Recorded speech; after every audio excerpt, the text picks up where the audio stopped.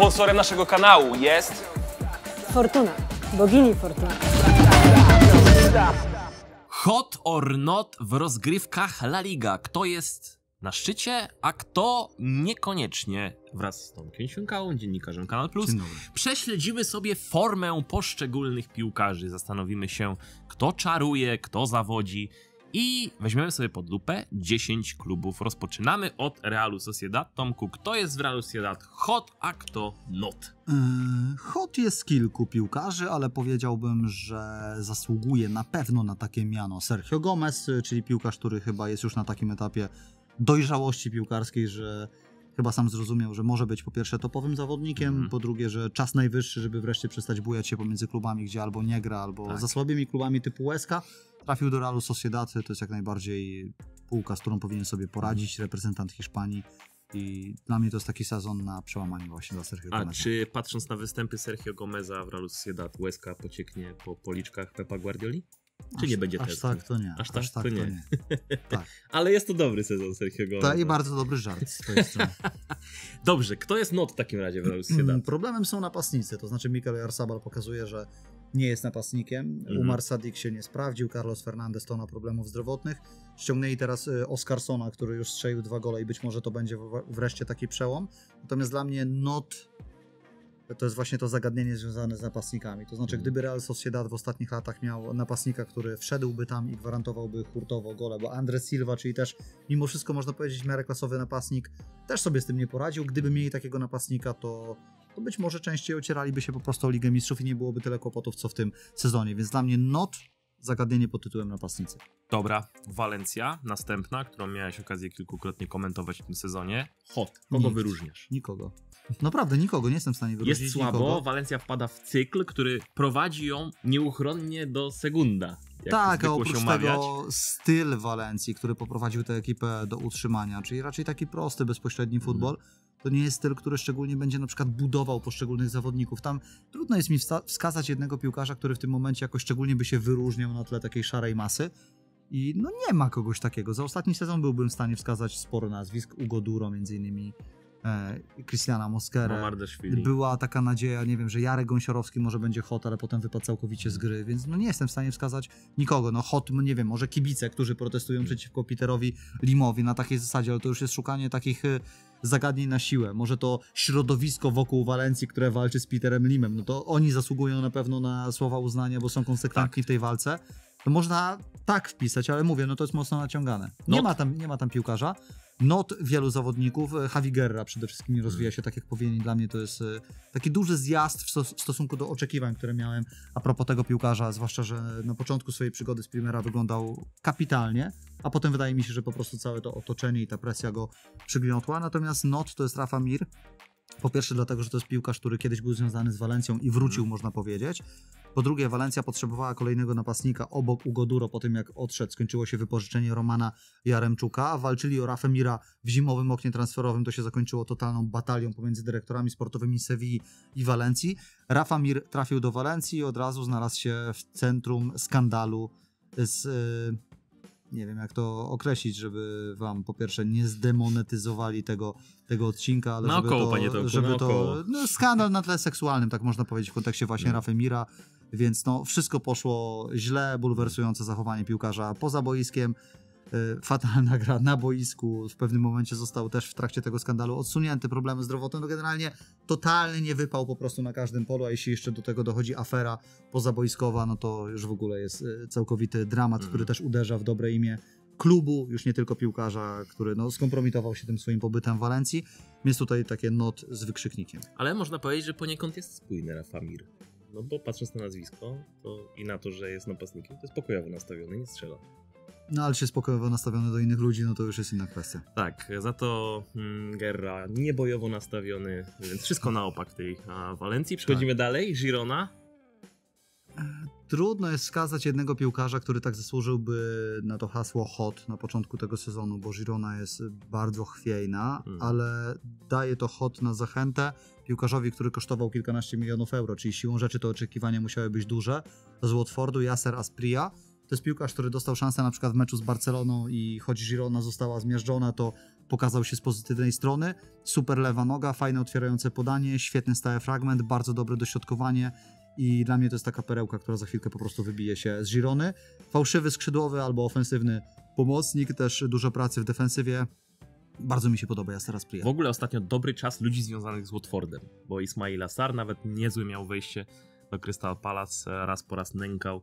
Mm, Nawet takie wymagające przecież defensywy, jakim, jakie e, możemy zobaczyć w Liverpoolu czy w innych klubach. E, Kuczo Hernandez mi się ostatnio wyświetlał i zastanawiałem się dlaczego, też jakieś sensacyjne wyniki kręcił w MLS.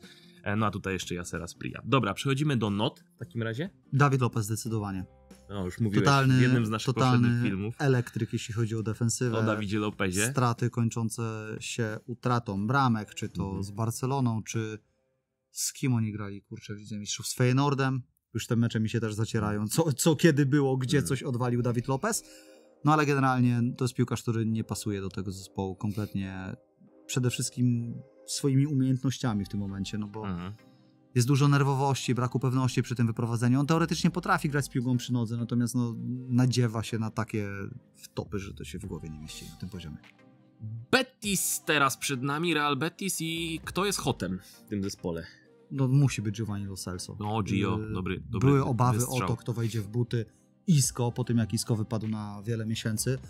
Giovanni Lo Celso wrócił po wielu latach do Realu Betis i po raz kolejny potwierdza, że to jest piłkarz po prostu idealnie skrojony do Ligi Po Hiszpańskiej. prostu. dokładnie. Każdy w zasadzie okres Lo Celso, czy to w Betisie, czy w Villarrealu, bo on tak krąży pomiędzy Mm. tymi klubami, pokazuje, że naprawdę to może być złoty, złoty piłkarz w tej lidze. Liga. zdecydowanie, zdecydowanie, ale też na podstawie tego, jak on gra w La Lidze, nie dziwię się, że Tottenham po niego sięgnął Mm. w pewnym momencie. Teraz trafił do Betisu i no miażdży, jeden z najlepszych piłkarzy ligi po prostu. E, Pięć goli, jeśli dobrze pamiętam w momencie, kiedy nagrywamy ten odcinek, no topka absolutna. Tym bardziej jest to istotne w takim momencie, kiedy Real Betis nie ma klasowego napastnika. William José odszedł, Borja Iglesias odszedł jakiś czas wcześniej, zresztą i tak się nie sprawdzał. E, Sezon na pozycji napastnika rozpoczynał Aitor Ruibal, który nie pasuje do tej pozycji, grywał te, tam też Asane Diao. E, No i tam nie ma klasowego napastnika w tym momencie, więc można powiedzieć, że Mhm. Giovanni Lo Celso bierze na siebie strzelanie goli także z dystansu i siłą rzeczy od razu przechodzimy do not. Mhm. E, No i tutaj Vitor Roque. Dla mnie na razie to jest rozczarowanie. Przede wszystkim ja nie mówię, że to będzie nie wypał w Betisie, bo być może on się odbije, ale y, nie spodziewałem się mimo wszystko, że piłkarz, który kosztował 30 plus 30 zmiennych plus minus, może być tak surowy technicznie. Mhm. To się po prostu w głowie nie mieści. To jest Nawet bardzo na, ciekawy nawet fenomen. na tle Dokładnie. Legii jest to dla mnie niebywałe, że napastnik z Brazylii, który tyle kosztował, może być tak surowy technicznie. Ja myślę, że on się kiedyś odbije, ale przede wszystkim właśnie na bazie swoich możliwości fizycznych, czyli takiej właśnie agresywności, wyjścia na wolne pole, czasami walki z obrońcą, takiego doskoku w pressingu. Myślę, że to będzie niezły napastnik, ale tak jak mówię, no, jeśli chodzi o te kwestie techniczne, to aż czasami przecieram oczy ze zdumienia. Czyli na razie na szlaku prowadzącym go w kierunku Reiniera Jezusa jest e, Vitor Roque, a nie innych brazylijskich Może sensacji. nie aż tak, ale, ale na razie wygląda Ale to rozczarowuje. No, prostu. zdecydowanie, Człowiek, który miał zdetronizować Roberta Lewandowskiego. Były przecież takie głosy. Kiedy się pojawiał, mm, w momencie, kiedy Lewy miał słabszą formę. Natomiast teraz ta przepaść między nimi jest po prostu przepotężna. Tak. Dobra, e, przechodzimy dalej. Celta. Od I tutaj można wymienić wielu piłkarzy. Początkowo chciałem dać Claudio Giraldesa, czyli trenera, który przejął Celtę po Rafie Benitezie za całą robotę, jaką uzdrowił. wykonuje.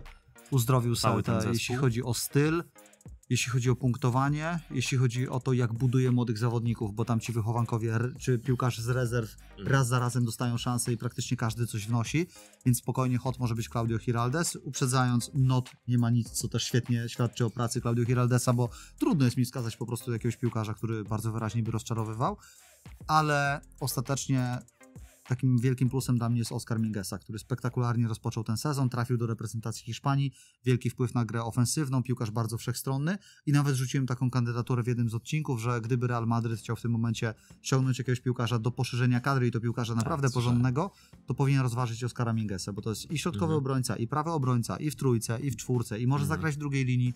Naprawdę bardzo wartościowy zawodnik. Dobrze, skoro nie ma not przy Celcie, to przechodzimy do Atletiku. Tutaj jest hot? jeden not. Zacznijmy może od not. No dobra.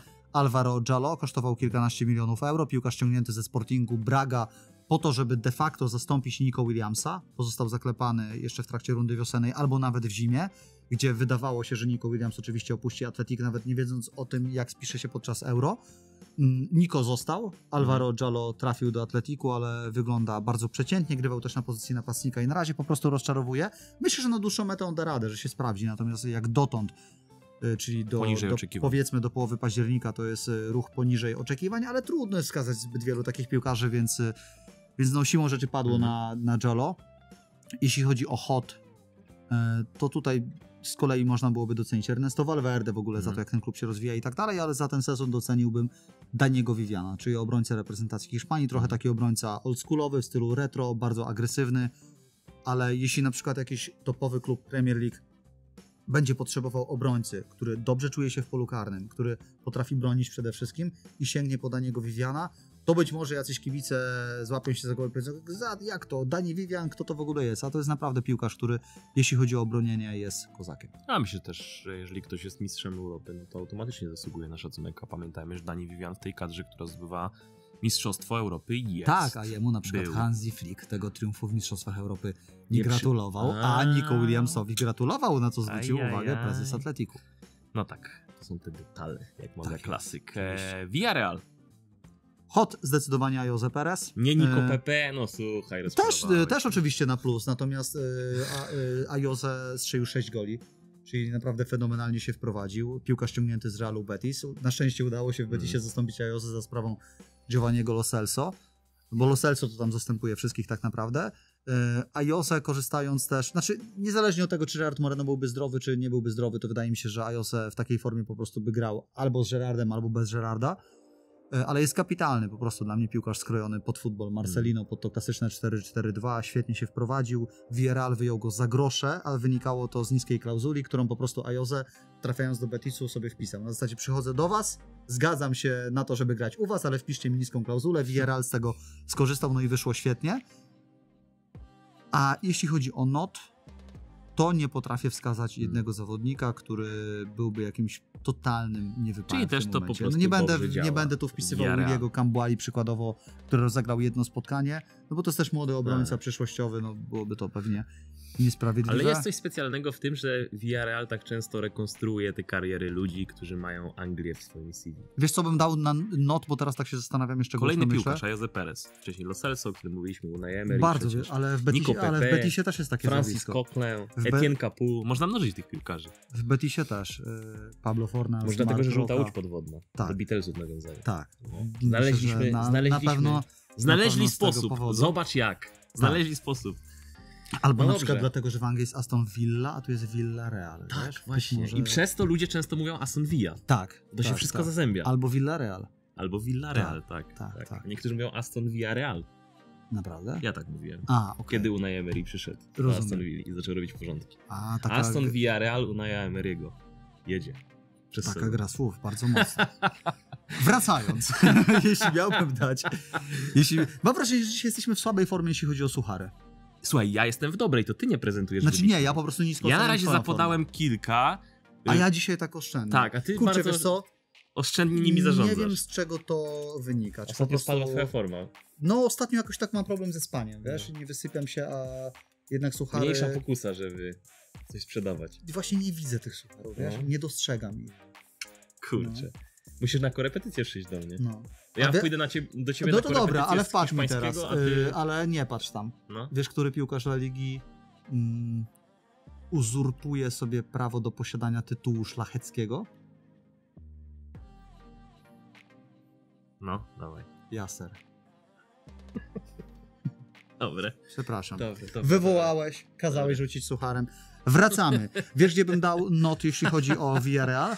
Dałbym No. tam takie zagadnienie tym razem, Okej. szukając na siłę, ale też, y, Mhm. no umówmy się, wasze odcinki, te wasze testy są dla mnie dużym wyzwaniem. Często jeśli chodzi o kreatywność i muszę Tak, tak, wychodzić poza tak zwany box, jak mawiają Mhm. Anglicy.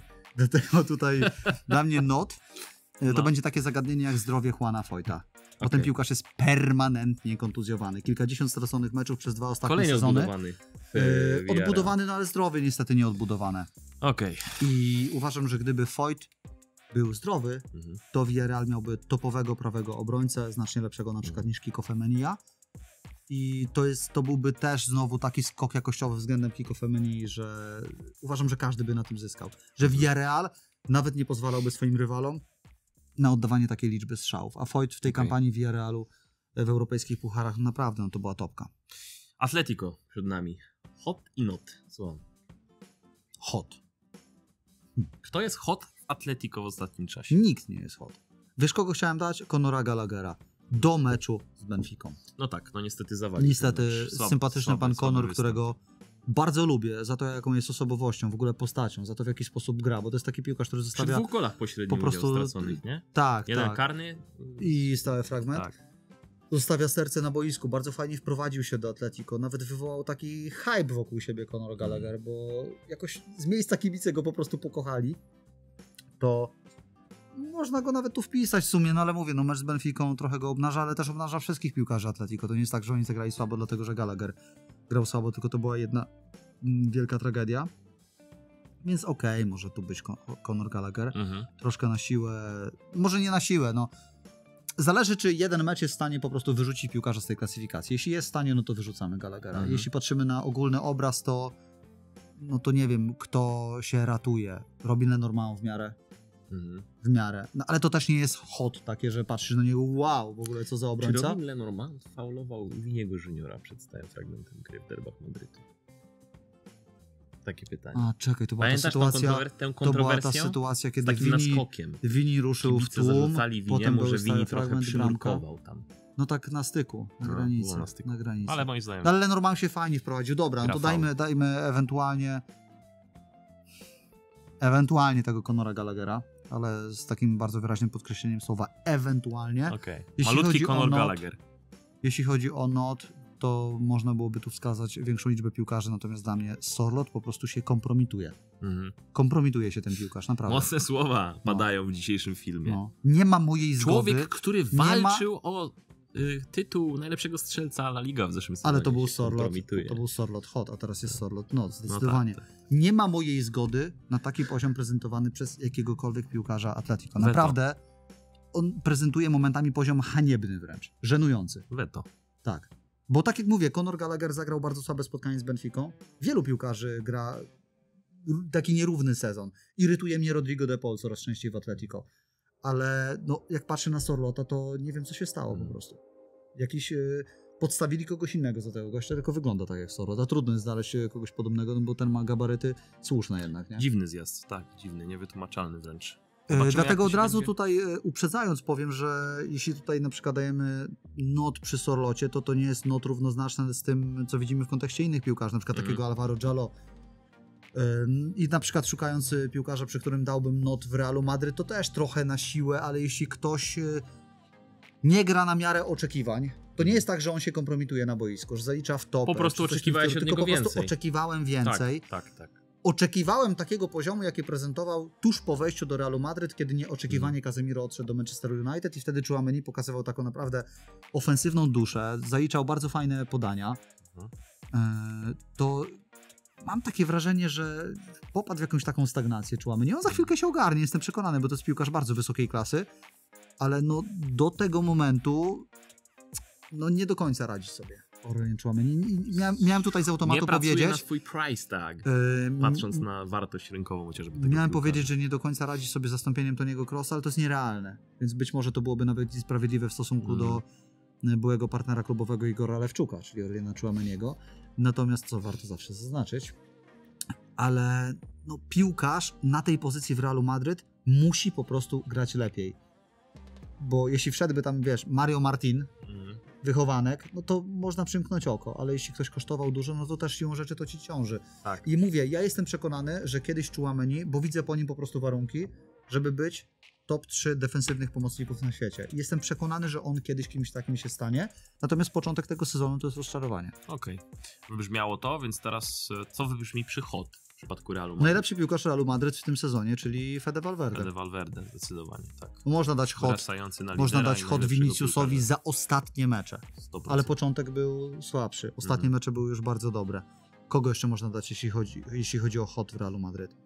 No, No nie- postać z drugiego szeregu ewentualnie, którą Ale wskazałbyś jakiegokolwiek wyróżnić. innego piłkarza Realu w tym momencie do kategorii hot?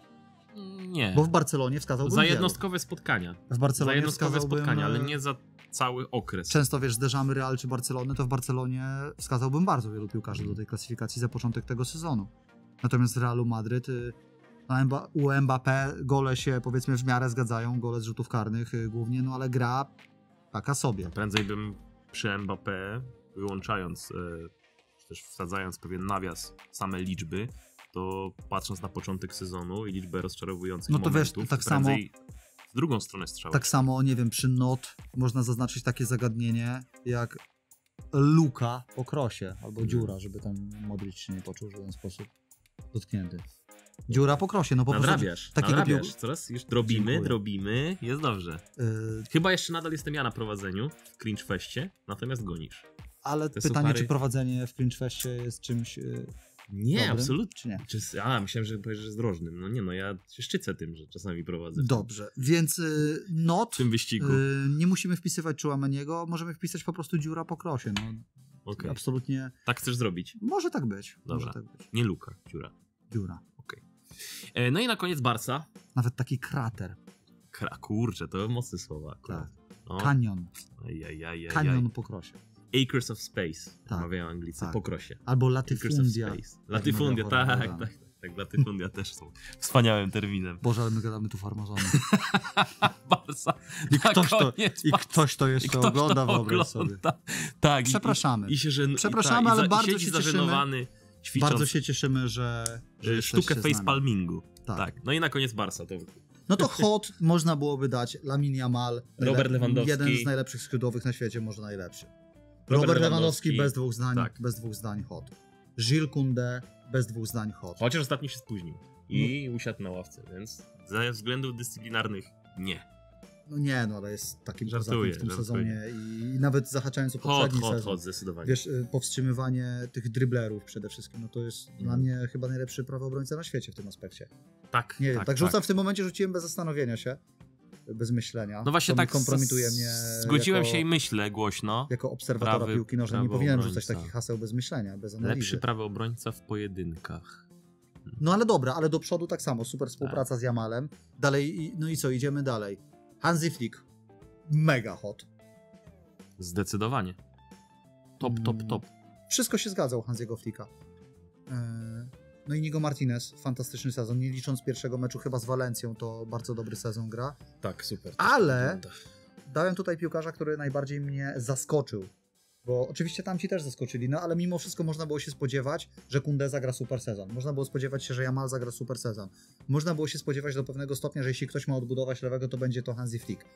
Ale to, co pan sympatyczny Hans Dieter zrobił z Rafinią, Tak. to jest jakiś kosmos. Przecież tak naprawdę na podstawie tego, jak Rafinha wyglądał do tej pory w Barcelonie, można było Rafinię postrzegać jako pierwszego kandydata do wyjazdu, do transferu, po prostu żeby zarobić jakąś kasę. A Rafinha gra przefenomenalnie, więc Rafinię umieszczę tutaj po prostu jako hot, Tak. a jako not Ferrana Torresa. Mhm. Myślę, że nie trzeba tego uzasadniać. Myślę, że nie. Mm, Rozmawialiśmy sobie o tym jednym meczu z Gironą, który jest taką negatywną wizytówką przy niepotrzebnej Każdy mecz Ferrana. Torresa jest niemal negatywną wizytówką. To prawda, to prawda, że rozczarowujące występy Ferrana w ostatnim czasie mu się przydarzają dość nagminnie, więc myślę, że to jest też taki no-brainer. Nie wiem, kogo moglibyśmy Tak. tutaj wsadzić ewentualnie w y, tę kategorię not z Barsy w tym momencie. Za pojedyncze występy na pewno, to by się pozbierało kilku piłkarzy, ale tak intuicyjnie to też mi od razu do głowy przed Ferran. Nie no, Ferran, Ferran, Ferran. Dobra, skończyliśmy, panie Tomku. Dziękuję. Chyba ja wygrałem jednak, jeżeli chodzi o suchary. Ty za to wygrałeś, jeżeli chodzi o merytorykę, wiedzę. Myślę, że się po prostu z tym dobrze czujesz. Dziękuję bardzo za Dziękuję. kolejny odcinek. Dziękujemy, Dziękujemy że wam, byliście z nami. widzowie. Dajcie Dziękujemy, znać. że byliście z nami mimo wszystko. Mimo wszystko, tak jest. Który piłkarz z tego grona najczęściej odwiedzałby szpital? Ojej. Sorlot. No wiesz, że miałem w głowie w trakcie nagrywania tego odcinka, że tam jest ten SOR, w SOR? Sorlocie. Ja, szpitalny oddział ratunkowy. Mhm. Omijajcie Albo lot. szpitalne oddziały Albo ratunkowe, lot. drodzy widzowie. Wszystkiego dobrego i dużo zdrowia wam życzymy. Mógłby reklamować polskie linie lotnicze. Sorlot, Dobre, dobre. nie? Nie wiem, które lepsze. Moje czy twoje? Chyba Twoje. twoje. I tym akcentem kończymy. Trzymajcie się. Siemka.